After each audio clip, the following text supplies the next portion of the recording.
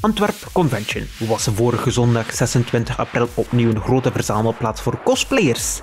Dat is een evenement waarbij jongeren elkaar ontmoeten in de outfit van hun favoriete game of filmpersonage. Voor buitenstaanders lijkt de verkleedde partij in Antwerpen Expo maar eigenaardig. Voor de jongeren het evenement van het jaar.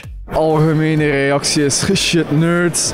Uh, maar ze kunnen er wel goed mee lachen nog. Uh, als, als ik het vertel aan vrienden of collega's, uh, ze vinden het allemaal plezant dat ik het doe, maar ze zouden het zelf nooit doen natuurlijk. We zijn de vijf wizards van Lord of the Rings. Twee blauwe, de bruine, de witte en de grijze. Ik cosplay nu toch al van mijn 16 jaar ongeveer. Ik ben nu 24, dus doen het toch redelijk veel. Ik ga naar het buitenland ervoor en al. Dus.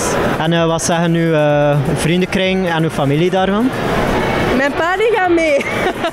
dus die laat mij doen. Die, die zegt beter daar dan uit te gaan met drinken of zo en feesten. Dus. Het is eigenlijk de eerste keer dat ik dat doe.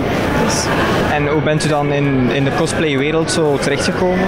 Ja, eigenlijk door mijn zus en uh, de vrienden. Die hadden gevraagd of ik mee wou en ik zag dat wel zitten.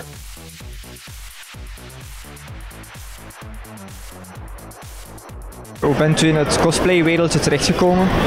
Um, door vrienden die ja, er veel mee bezig waren en ik heb dat een soort van overgenomen. In wat bent u verkleed vandaag? Een Weeping Angel uit de Britse serie Doctor Who. En uh, dan bent u daar waarschijnlijk ook grote fan van? Ja, hele grote fan.